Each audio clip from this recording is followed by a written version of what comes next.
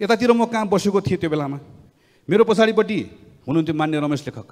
त्यो बेलामा प्रमुख सचेतक हुनुहुन्थ्यो। अस्सी साल चैत्र छ गते। उहाँले के भन्नुभएको थियो भने पोखरा महानगरपालिकाले सूर्यदर्शन सहकारीको बारेमा एउटा अध्ययन गर्यो।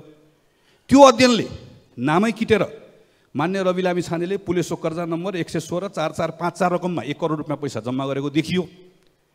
यस्तो रकम थुप्रै जम्मा भएको कारणले गर्दा माघ बाइस गते पीडितहरूले पोखरामा गएर जाहेरी दिन गए।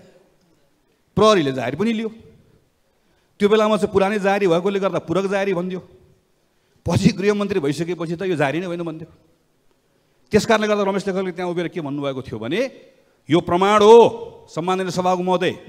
यो प्रमाण होइन भने के हो प्रमाण? यो प्रमाणका आधारमा गृह मन्त्रालयले तत्काल अनुसन्धान गर्नुपर्छ भनेर ऊ त्यहाँ उभिएर बोल्नुभएको थियो। अहिले यतातिर पुग्नु भएको छ। अब सरकार फेरि कुरा फेरिन्छ। फेरिन्न। सम्माननीय सभा महोदय यो सदनमा हामी पनि छौँ। हामी त्यहाँ बस्दा एउटा यहाँ बस्दा एउटा भन्दैनौँ।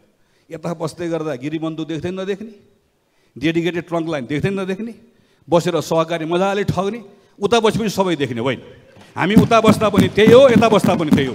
गिरिबन्धुको पनि जे हो त्यही हुनुपर्छ भुटानीको पनि जे हो त्यही हुनुपर्छ डेडिकेटेड ट्रङ्क लाइनको पनि एक रुपियाँ पनि सरकार राज्य काहीँ ठगिनुहुन्न।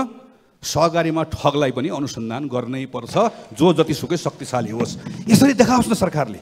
म को भन्ने कुरा सरकारले त यसरी प्रमाणित गरेर देखाओस्।